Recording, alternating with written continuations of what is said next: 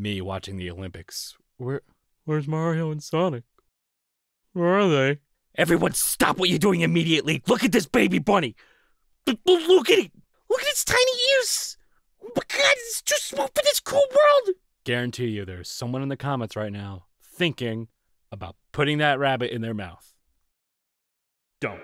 Showers don't cut it anymore. I need to be pressure washed. Just peel that skin right off me. Yes, hello, I am an official real Tumblr. I like to do things like Plinko the horse and observe the Blorbo shows. I'm blending in so good. Oh no, Randy, your your, your stickies. It's my opinion, so instantly vaporized by the beam. Rest in pepperoni, Pucky. We knew ye well. Pucky is still alive, but just a Mr. Chaos, isn't he? Yep.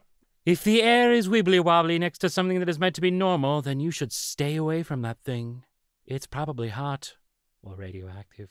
I just realized the first Cars movie and the first Thor movie have the exact same plot.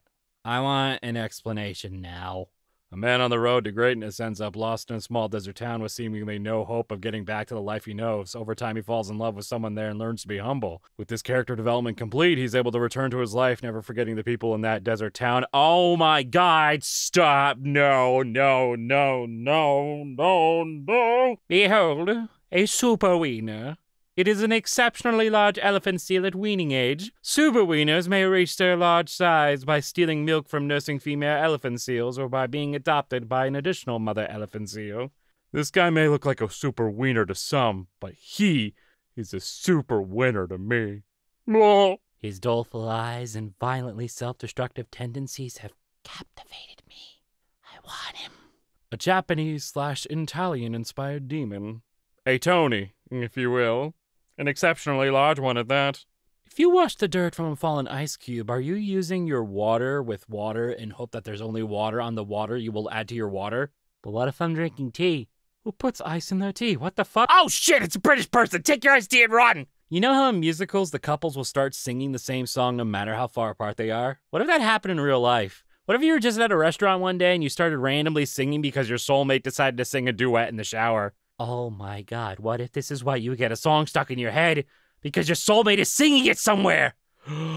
it got better! Jesus Christ! I don't want to be soulmates with someone who keeps singing Cotton Eye Joe. Or do you? Gays, lend me your strength. I shall give you my soul, and you will be the most powerful gay to ever gay. Thank you so much. Lesbians, lend me your strength. I give you my heart, so you can have the power of all the lesbians and be even more gay than before. I am forever in your debts.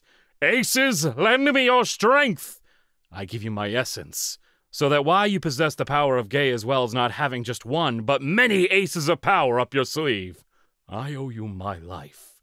Transgender and non binary folks, lend me your strength! I give you my titties because I don't fucking want them. Behold, the Scrimblow basket. A Scrimblasket. I love it. You know, we have seen PM Seymour end his videos with silly little noises, but I think it's time we switch things up a bit. Now, I don't know if he'll actually see this, but if, keyword if, he does, because I know the guy's a busy guy, I want to see him end a video with silly Minecraft villager noises. Hmm. Huh. I don't know about that one. Hmm?